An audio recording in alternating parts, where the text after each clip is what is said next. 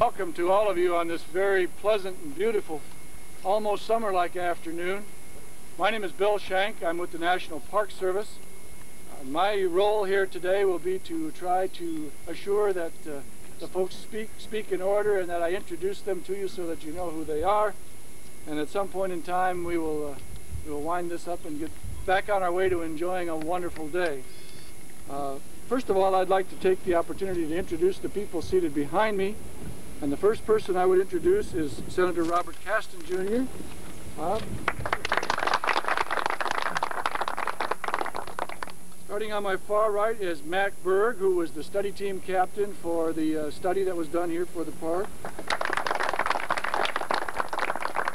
On my left and behind me is Paul Wade, the chairman of the Marquette County Board of Commissioners. Erik Brynildson, who is a nearby property owner. He's labeled there today. Erik, Peter McKeever is the state director of the Nature Conservancy on my right. And Carl Zichella is the regional director for the Sierra Club's Midwest region. I would also like to take the opportunity to represent, to uh, recognize some other very special guests here today. We have State Representative Ben Brancel. Ben, where? We have with us from the Department of Natural Resources of Wisconsin, Mark Martin and Darlene Carroll. Wherever they are. And Fran and Don Sprain. Fran is with the Marquette County Historical Museum and Don is the Vice Chairman of the County Board.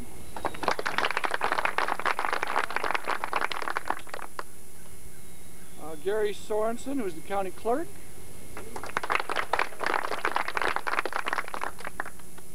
Bessie Eggleston, who is a relative of the Ennises, for whom this lake is named. Bessie, are you here? There she is. Tom McDowell, who is the former, former county board chairman and uh, one of the first people I met in terms of this project. So, Tom. And we have Millie Stanley, who has uh, also been a very strong supporter of this concept over the years. Millie. And last and certainly not least, we have Pat Miller, who was the trail, the North Country Trail supervisor at the time we began this project uh, way back when, and former superintendent of Apostle Island. Now happily retired in northern Wisconsin, and uh, came down to us. There are also a number of other folks here from the National Park Service, and I would recognize them collectively as the Park Service group out of Omaha, and I thank you one and all for your efforts, and uh, you can individually get to know the rest of these folks as the day goes on. Just a brief word about the National Landmarks Program, and I, I truly do mean brief because there are any number of people who have some things to tell you today. The, the Landmarks Program recognizes significant historic cultural or natural resources across the uh, across the country. It does not convey national park designation, but indeed sets apart those uh, landmarks as, as truly significant features, uh, not only within the states, but uh, throughout the uh, throughout the United States. And it was that recognition that was bestowed upon this particular location in late 1990. Uh, the uh, determination of the significance of the area was done by a number of folks, and because of its significance, it culminated in a study that would talk about management options for the John Muir Park. The person who conducted that study and the one who's going to tell you a little bit more about it is with us today, and that's Mac Berg, the superintendent of Wilson's Creek National Battlefield in Missouri. So, Mac? The floor is yours. Thank you. Or the ground is yours. It's kind of noisy around here. I don't know what this is off to the, to the right, but I'm having trouble hearing from the, uh, uh, uh, the birds, the cranes. That's kind of appropriate. Maybe they like what's going on today. I, uh, I'm really pleased to have the opportunity to speak briefly for the team. Uh, it was a, uh, a little different sort of a planning team that we put together. And I think uh, all of us grew to very much appreciate the area. And I think it was truly a labor of love for those of us in the Park Service because of the obvious ties that John Muir has to the Park Service, to the conservation uh, uh, movement. I think uh, Dr. Robin Winks at Yale, in some of his correspondence, made the comment about the National Park Service as a collective monument to a conservation uh, ethic. And certainly uh, John Muir uh, is a, a, significant transcendental individual in that right. The team was unique in that uh, there were three local boys that uh, helped us with the uh, with the team. Dr. Arnold Alanen from the University of Wisconsin, Mark Martin uh, you've already uh, uh, heard him introduced, and Paul Mathai, both of the Department of Natural Resources, the state of Wisconsin. Don Stevens, historian from the regional office in Omaha. Greg Bruff, interpretive specialist from Pictured Rocks National Lakeshore on the shores of Lake Superior.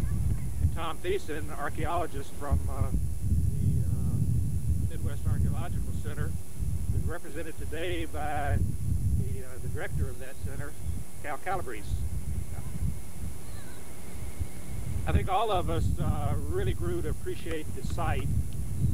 And th this, this is my third trip up here in the last, uh, I guess, six months for a variety of reasons. And the thing that just comes back to me over and over again is that at some point we have to look beyond just this site and look at the rich cultural landscape that surrounds the site. When you think about the Aldo Leopolds, when you think about the rich heritage, the rich ethnic heritage that's in this area, as you drive along and you uh, look at uh, uh Ramp Barns, uh, it, uh, it truly is an area that's a, a, a cradle of environmental ethic. As you have the opportunity to look at the study that we did You'll notice there is not a team choice or recommendation. There is a series of alternatives. I hope that you will all take the opportunity to read the study, to discuss it with your friends, neighbors, associates, and that I think from the study itself you can conclude uh, how the team feels about the area. I personally uh, hope that the interest in the site doesn't wither and wane, and that this site takes its place among other monuments to uh, a conservation ethic across the country. Thank you very much for the opportunity to be here today and for the opportunity to spend uh, really a couple of years along with my compatriots working on a uh, study for a very worthy, very worthy area. Thank you.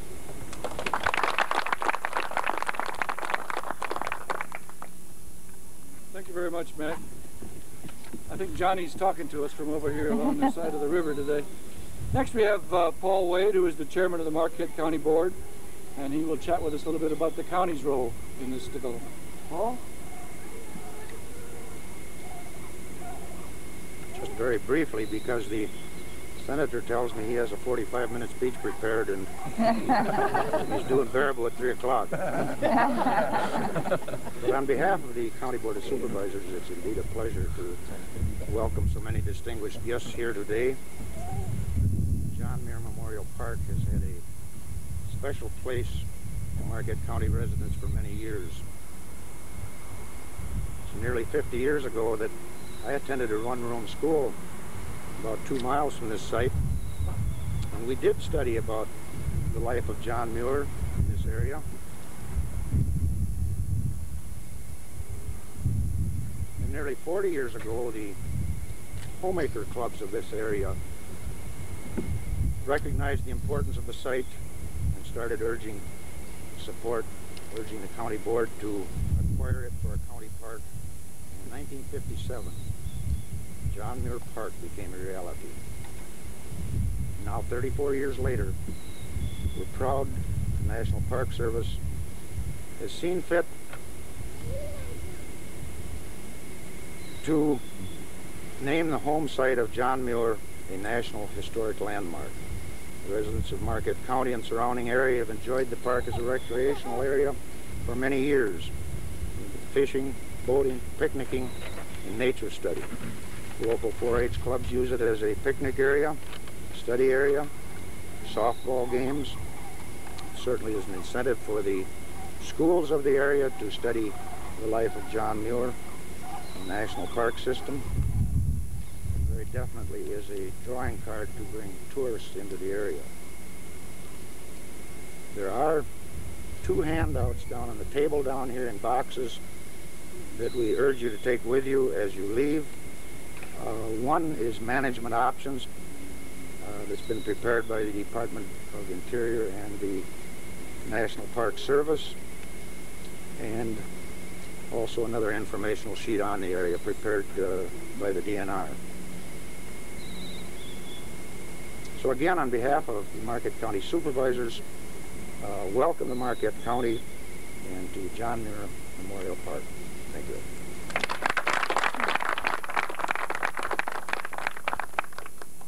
Thank you very much, Paul.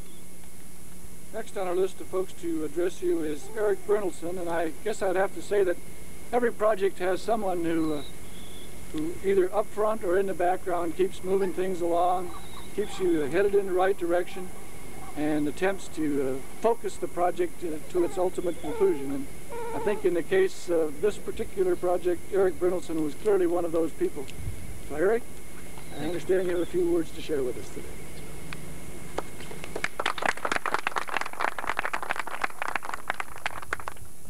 Good afternoon. Beautiful afternoon. I was real concerned about the weather when I heard that we had decided on the 5th of April. As a boy in Dunbar, Scotland, John Muir read of a wonder-filled country with boundless forests full of mysterious good things.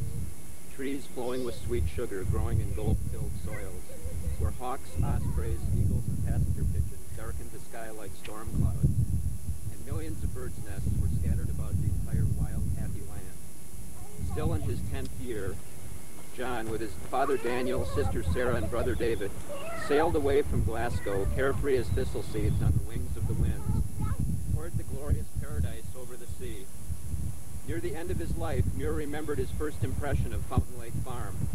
This sudden splash into pure wildness, baptism in nature's warm heart, how utterly happy it made us. Nature streaming into us, wooingly teaching her wonderful glowing lessons, so unlike the dismal grammar ashes and cinders so long thrashed into us. Here, without knowing it, we were still at school, every wild lesson a love lesson, not whipped but charmed into us. Oh, that glorious Wisconsin wilderness. I believe that childhood is the foundation of adulthood.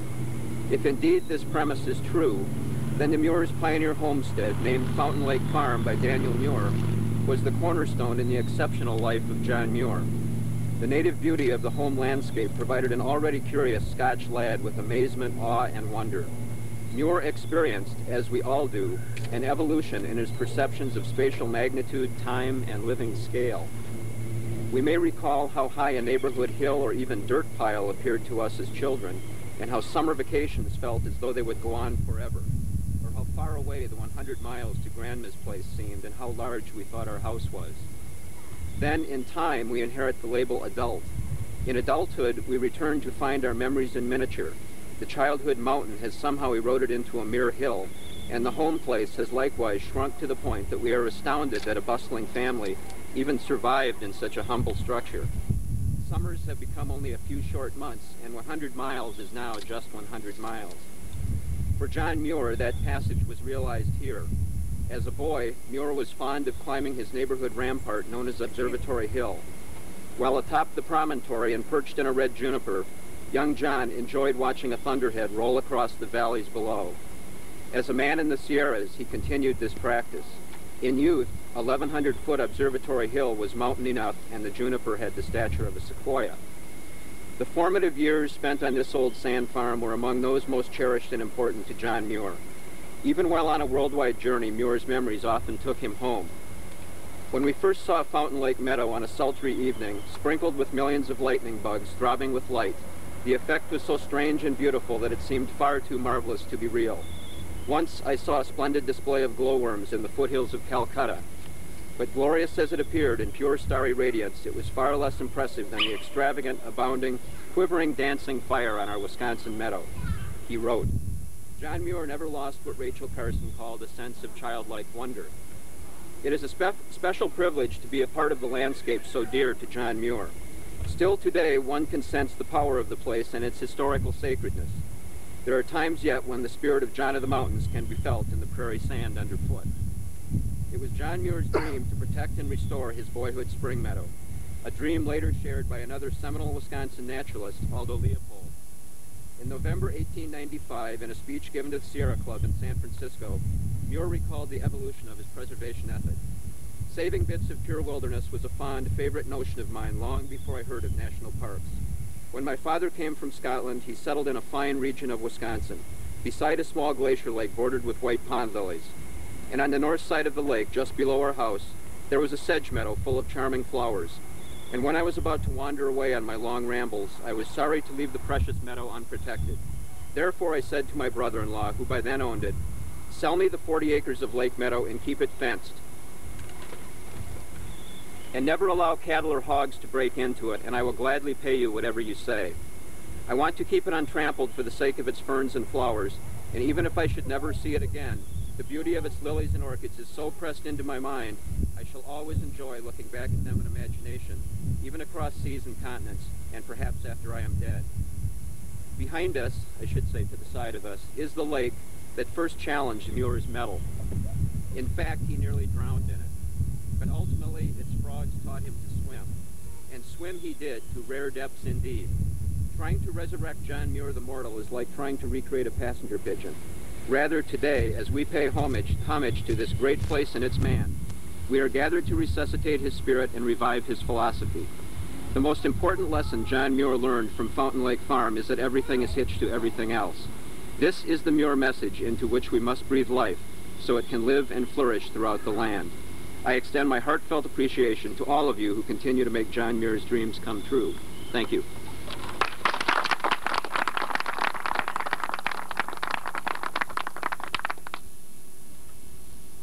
Thank you very much, Erik.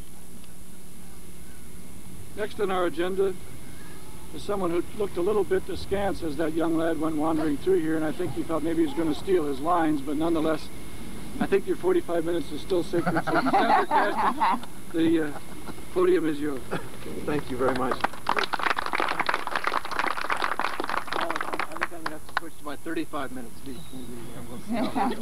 I just can't say how happy I am to be here, and I just want to say thank you to, to all of you who have joined us in this effort. I, there's one person that uh, worked awfully hard on this, and everyone who's associated with the, the effort is aware of Alex Eccles on my staff, and uh, I'd be remiss if I didn't at this time thank him for the work that he has done. He's a friend of many of yours, and we tried to have Alex here for this day. It wasn't possible, but I, I know that he's going to be back here soon, and he's very proud of what we were able to do. In a sense, today we're celebrating the, the end of a long journey, the culmination of our effort to honor the memory of Wisconsin's greatest environmentalist, John Muir, with this well-deserved landmark. But at the same time, we're also starting the next phase of this journey with the release of the management option document reviewing this site. In 1988, the 150th anniversary of John Muir's birth, I was contacted by Marquette County about the possibility of upgrading and recognizing this site and its contribution to Muir's development as an environmentalist. Since that time, I've worked toward that goal, and today we will confer National Landmark status on John Muir's boyhood home. All of us know the inspiring story of John Muir's advocacy for conservation.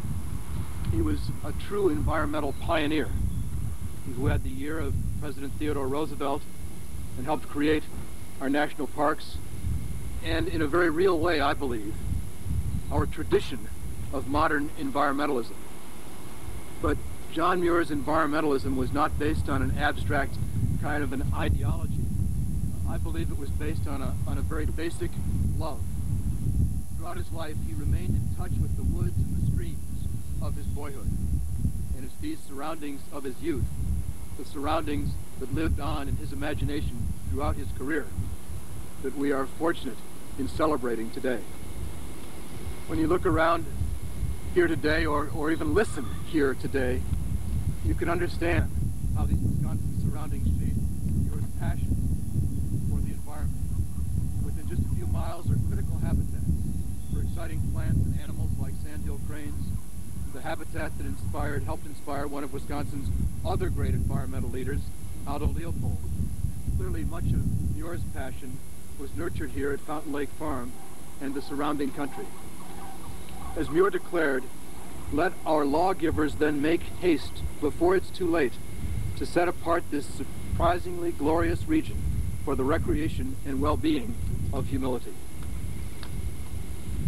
That's what we're doing today, recognizing how a small piece of Wisconsin's natural heritage shaped the vision of one of our nation's greatest environmental leaders, John Muir. Thank you very much.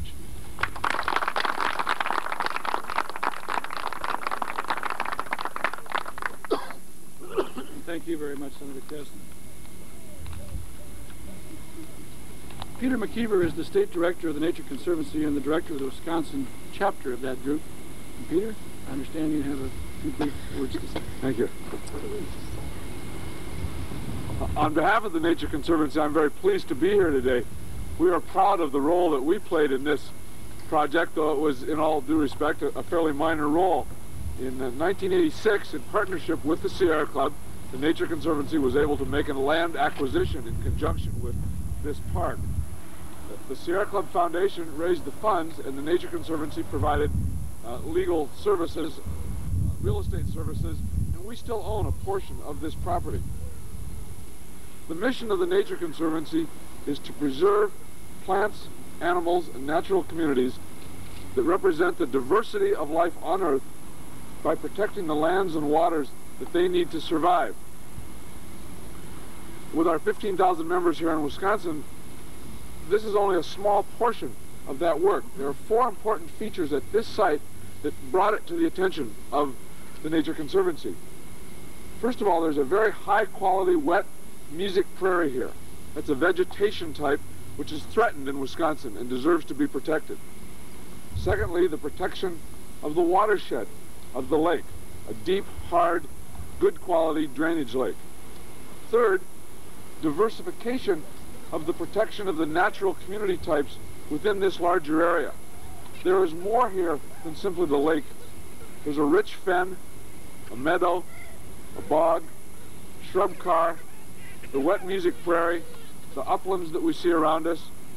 This is a rich area in terms of vegetation and natural community diversity, and that's important that that be protected.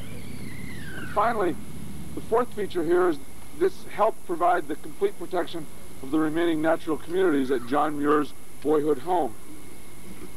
These four features of this site justified dedication of this site on March 19, 1987 to the state of Wisconsin as a state natural area.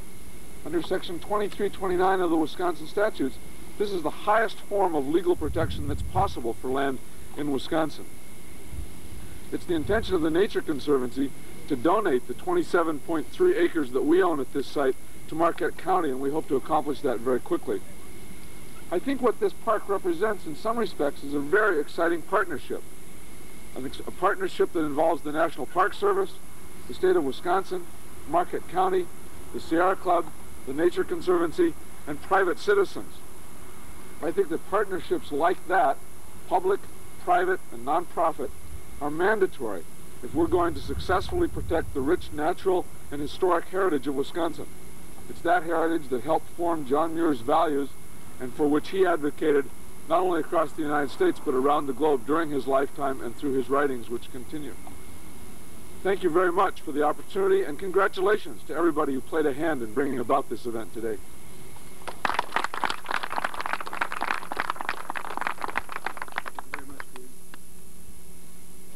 McCullough is the regional director of the Sierra Club's Midwest region. I know that Carl has been active in, in some uh, work dealing with this site for some time. Very instrumental in the uh, development of the 150th anniversary celebration that went on here and been in the background and in the foreground of discussions related to this uh, study and the various proposals that have gone on here. So Carl? Thanks, Bill. Thank you. It's truly a pleasure to be with you today to celebrate the designation of this wonderful place as a National Historic Landmark. I'd like to thank Senator Kasten and former Senator and great friend of the Sierra Club, Bill Proxmire, for their efforts in bringing this about. I'd also like to thank the Park Service, Erik, and many of the people that have already been mentioned, so I won't go through all their names one more time. I spoke with Senator Kohl this morning, and while he couldn't be with us today, he asked me to extend his best wishes to all of you and offer these thoughts. He said to me, I'm confident that the next step for Muir Park will be one that benefits local people while making this historic site more nationally recognized. Wisconsin's conservation heritage is firmly rooted in these communities. Aldo Leopold was perhaps the first advocate for an established park on this site, said the senator. He would be thankful for the progress that has been made so far. I'd like to join him in thanking the members of the Marquette County Commission who also worked to make this day possible. We've been partners with the county since we raised the funds to acquire much of the land, as Peter alluded to, uh, a number of years ago. We look forward to working closely with the county to ensure a bright and lasting future for the park, for residents of the county, and for the nation. What a day. This is the kind of afternoon that Muir would have loved to go swimming in Fountain Lake in, and I can almost hear him splashing around out there today as he swam in his loved Fountain Lake. It's no surprise to me that I look around and he was so deeply inspired by this location. It inspires me. I've spent many pleasant hours walking around this, this park and the trail around the lake. Um, Erik has been very generous with, uh, with his time with me also, and two Sierra Club presidents have uh, walked these grounds with me in, in, the last couple of years. Next year, the Sierra Club, the environmental organization Muir founded, will be 100 years old. Last year, Yosemite National Park, Muir's first practical application of his dream for a system of national parks, celebrated its centennial. That dream, according to Muir's own writings, was conceived at this farm. What is it about Wisconsin that connects people so firmly to the land that engenders such fierce dedication to the natu natural environment. We are, after all, the state of Muir and Leopold, of Nelson, Proxmire, and Messenger, men of environmental greatness and inspirational vision. Wisconsin has not just produced great environmentalists, but whose work provided the philosophical underpinnings of a global environmental movement involving tens, if not hundreds, of millions of people worldwide. Muir challenged the mere commodities production viewpoint that dominated our country's approach to its environment in his time. He enlisted presidents, as Senator Kasten referred to, and his efforts created a new national awareness that our wilderness heritage was being plundered by the timber barons and the mining trusts. This one man launched the American conservation movement. He did it by recognizing, as Roderick Nash has written, that wilderness is part of the American mind, part of its national soul, recognizing that there are values to wild and beautiful places that no dollar sign could be affixed to. Muir saw God himself in nature and recognized that his protection was among the highest work man could apply himself to. People responded. The organization Muir built, the Sierra Club, has grown from 100 dedicated mountaineers to 650,000 caring American and Canadian citizens. It has truly become a global force for environmental protection and more, a sustainable way of living on this small blue planet of ours. Yes, this is a, a, historic landmark, and we stand here today recognizing its importance to our nation's history in truly historic times. The challenges before us are daunting. We have little margin for error. Global climate change and the loss of world's tropical and temperate ancient forests are upon us. In our lifetimes, we may see the final liquidation of the ancient giant trees of the Pacific Northwest. Right here in Wisconsin, we're confronted with a choice of equal importance whether, the, whether to allow some of our northern forests to return to their original conditions or condemn them to biological slavery as sterile monocultural tree farms. The Arctic National Wildlife Refuge is threatened by big oil and our nation's insatiable addiction to fossil fuels. It is no less than America's Serengeti, scene of the largest mammal migration in North America since the decline of the buffalo. This place here is important, not so much for what Muir conceived here and launched, as for what continues to be done in, his, in the reflection of his inspiration. The Sierra Club has grown so large because of our commitment to fight these fights. We're committed to a sane and sensible energy policy that does not ravage our greatest national treasures. We're committed to stopping ill-advised efforts to convert America's Serengeti to oil company cash in search of one last fix of oil. We're committed to protecting the biological heritage of Wisconsin and the senseless destruction of our nation's last ancient forests. I believe these are fights Muir would have been directly involved in. Muir's vision, conceived here at Fountain Lake, is carried forward by you and I, and by all people who don't want to see America reduced to a crowded, polluted, paved-over place. Most importantly, Muir conceived his vision for us, for the people who followed him, that we may know the glad tidings of the mountains and the serenities of North Woods lakes. the idea as Muir conceived it was a legacy. He wasn't trying to protect Yosemite or anywhere else for that matter, for 10 years or even 100 years. His efforts were to protect them forever. He trusted that we would follow him, recognize the intrinsic importance of his message, and fight like hell for the short-sighted destruction of, of the birthright of future generations. He gambled that we would oppose people who knew the price of everything and the value of nothing. He also knew that landscapes provided inspiration. He was first inspired here. As his great work continues, it is fully appropriate that this landscape be designated a National Historic Landmark. The inspiration it provided a young Scottish immigrant more than a, more than a century ago has forever changed our lives. Thank you.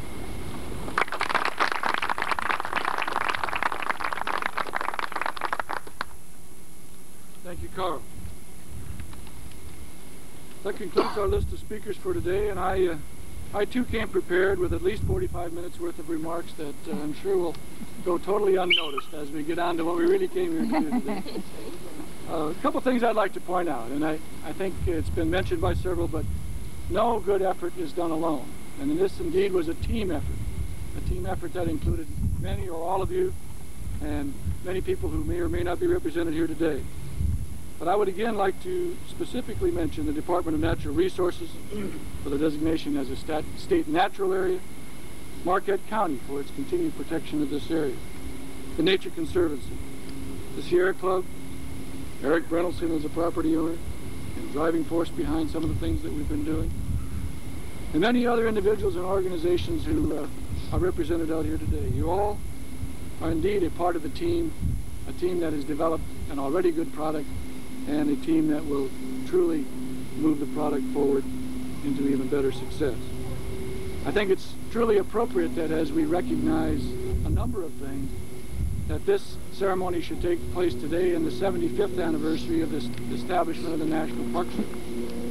And uh, as we add this landmark to the list of things that we review and deal with, uh, it joins uh, a list of many other parks and landmarks throughout the country that have grown and developed over our 75-year history and will probably begin to set a basis for the sort of uh, landmarks and parks that we will deal with and protect in the next 75 years of our existence. So with that brief conclusion, I would like to again ask Senator Kasten to come forward. We have a couple of things to do. And the first thing I would like to do is to present him with a pin recognizing our 75th anniversary that you may, may or may not wear or as you fly about the state.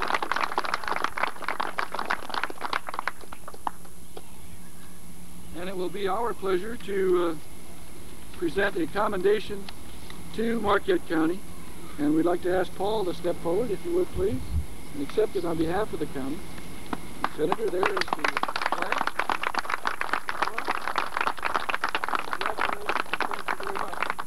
I should explain that this uh, this commendation, which uh, I trust will be displayed promptly at uh, county uh, hall somewhere, uh, is only a symbol of the actual plaque that will be brought here and placed on site as a recognition of the of the landmark. Uh, the, the, bronze plaque will commemorate the site, and I suppose what we've really done is laid the framework for another ceremony and celebration to come back again to the Muir County Park and recognize what's going on here. But at any rate, congratulations to you, Paul, and thank you. Thank you. We're uh, in Marquette County always ready for a party or a celebration. I, I this will be displayed in the courthouse, and of course, when the bronze plaque comes, it will be appropriately placed here in the park. Thank you. Thank I you. also have a 75th anniversary pin for you. Thank you. recognition of Appreciate it. a good partnership. Uh, thank you.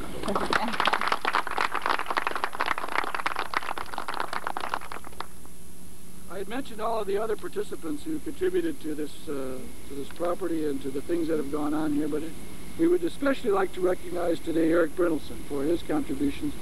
And so, Senator, if you would again assist me, we will present Erik with a commendation regarding his efforts to preserve the Fountain Lake Farm.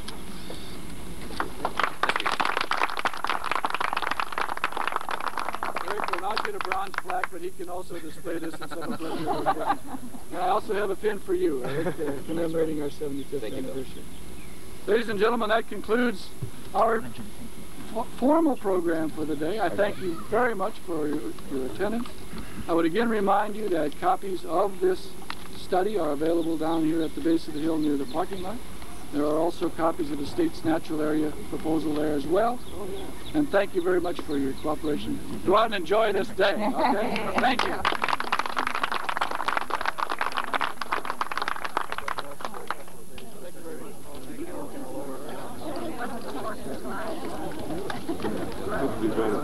Look forward to seeing you at the Prosperity. Let's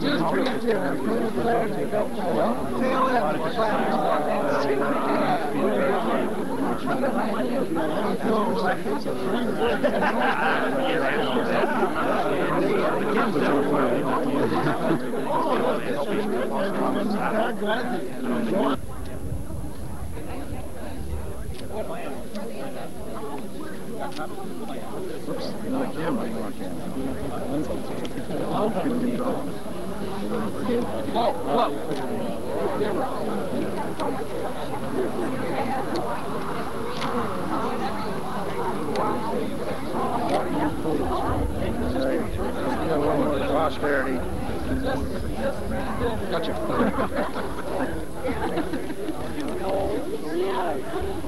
find Danny's shoes. So Bill Schenk is Um, Bill is a distinguished Let's go gentleman. find Daniel's shoes. I think we should probably say goodbye to the senator.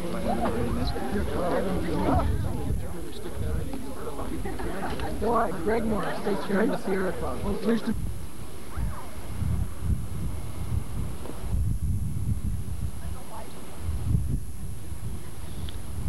The land designated as a National Historic Landmark is an 80-acre tract lying on the far side of Fountain Lake or Ennis Lake.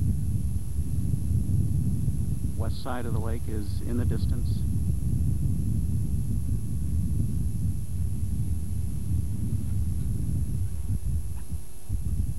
Included the marsh and the home site